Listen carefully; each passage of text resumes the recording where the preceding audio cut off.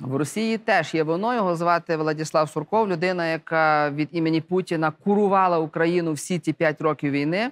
Прекрасне, чудове інтерв'ю вийшло. Ну, ви не, не, не сприймайте це, це, це не стьоп.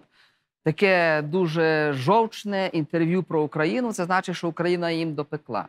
Так от цитата по Донбасу. Це говорить архітектор війни. Питання йому поставлене було ось таке: Донбас вернется в состав України? Відповідь уважно слухай. Донбас не заслуживает такого унижения. Україна не заслуживає такої честі. Нарешті, Боже, слава Богу, дай Бог здоров'я пану Суркову. Нарешті, от мені, мені це подобається.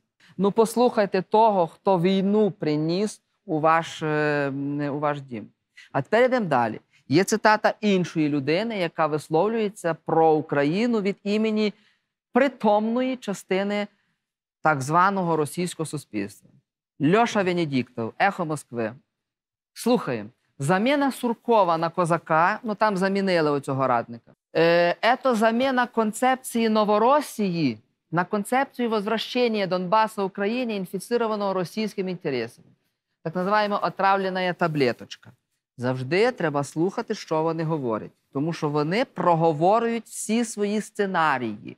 Так ось, всім українським патріотам, непатріотам, виборцям, невиборцям, всьому українському люду він прямо сказав: проект Новоросія як незалежна республіка провалилася. Сурков не зумів пропхати проект Новоросія. Вони закривають проект Новоросія. ДНР, ЛНР ніколи не будуть визнаними незалежними республіками. У них план називається Отравлена таблеточка. Їхній план це вони вам кажуть. Вам каже ворог України, що їхній план ворога України засунути таблеточку в Україну. Ну кому ще треба зайві докази на тему треба, не треба, реінтеграція і так далі. Я ставлю три крапки, тому що тут настільки все очевидно. Таблеточка підводить до одного простого вибору. Мир у цій історії дорівнює народ Донбасу Конституції України.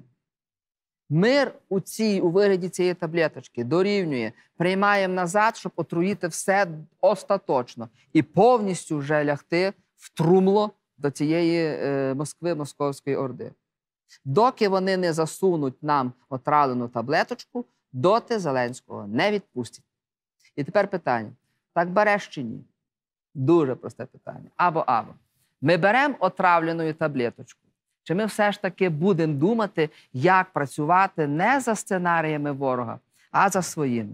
Ну, але ну що, кому я це говорю? У них же 44, у них же ж аплодисменти.